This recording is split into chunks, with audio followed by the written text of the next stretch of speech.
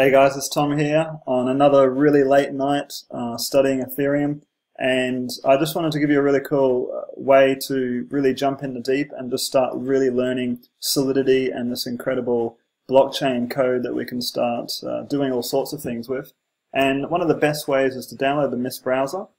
And once you've downloaded it, uh, you can jump on the test network by going to the develop network and go click onto test network. And you can start mining but you don't even need to start mining, okay? That does take a little bit of time to get a little bit of test ether. What you can do is go to contracts, and you can press deploy new contracts. And what you can do is then go over to ethereum.org uh, and scroll down and say, for instance, you want to design and issue your own cryptocurrency, you can press issue token. And these are some of the main functionalities behind this whole uh, computing platform. Uh, and that's all the code there, right there. But I'm going to go down to get the full code, which is this one down here. And just select it all. Don't worry about trying to study it right there. But select it all. Um, you can put it in some type of environment, but just trial putting it in the Mist wallet. So over here, and deploy contract, um, and just paste it in here like so and wait for the software to actually process it. And then what you're going to find on the right hand side here is basically all the methods to this, this contract. So there's my advanced token and you'll find these terms in the contract. So if I click on that it brings up all these fields here. And if we scroll down, now where is it? We'll probably see my advanced token. So there it is. And we've got initial supply, token name, what we want to call it, um, how many decimal places, the symbol, so like some type of string. I think you can do up to four, four letters, maybe more.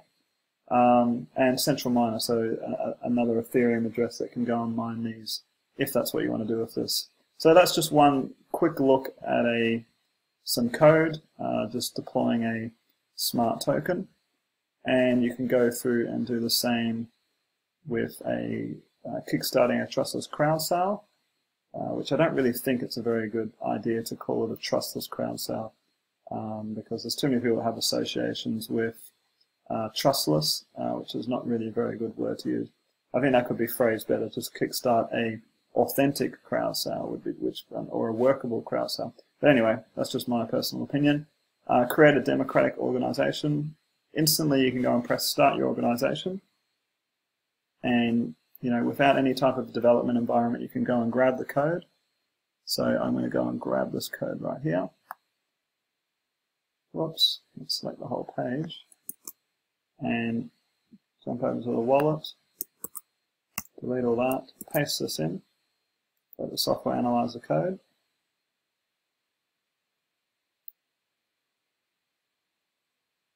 Alright, and so we've got Congress and owned in here uh, is the first two executable methods of this contract. So if we click on Congress, uh, it asks for a quorum. So a quorum means uh, when somebody, a service provider, submits a contract to this contract, what percentage of yeses is required from the votes that are submitted in order for the contract to be funded.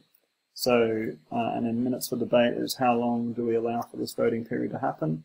Um, margin of votes for majority, and Congress leader is somebody who can have a bit more power. But it's about just going through and having exploring and playing around. So that's what it's like to do uh, contracts on the Ethereum, use it, looking at contracts using the Ethereum Mist browser. The other thing I wanted to show you, which is really cool, is you can go over to etherscan.io and click on verified contracts. And here is, uh, I remember when there was literally only like 10 contracts up here. But here you can come along and you can look at verified contracts. So you can look at the contract that the Slockit DAO crowd sales have, happening, having. Um, what else is there? There's, this is 10 pages worth, it seems. So uh, there's a swap contract. So we could actually click on that and you can go and actually get the code right here and you can paste it straight into this browser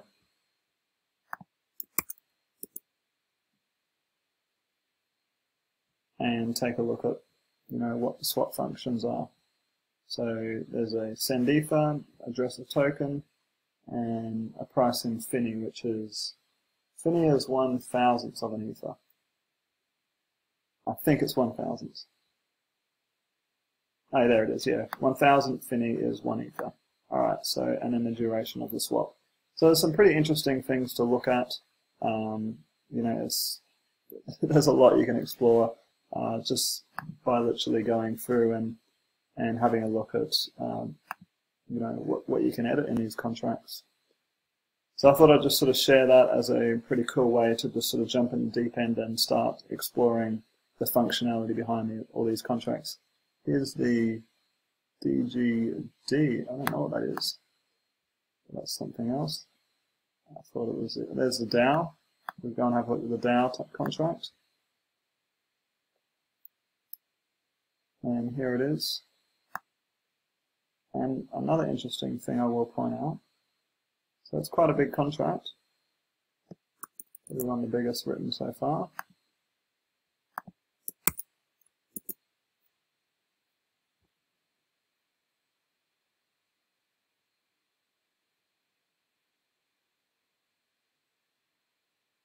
It takes a while to load.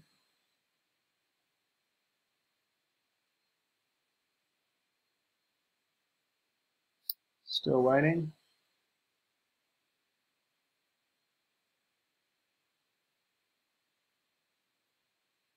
I'm still waiting. Okay, looks like it's loaded now. Nope, still waiting. Alright, maybe now. Okay, good. So there's the DAO, and there's a bunch of inputs, and DAO interface, nothing there, DAO creator, managed account, account interface, token, token creation, which would be doing inputs on the on, on the execution of this contract.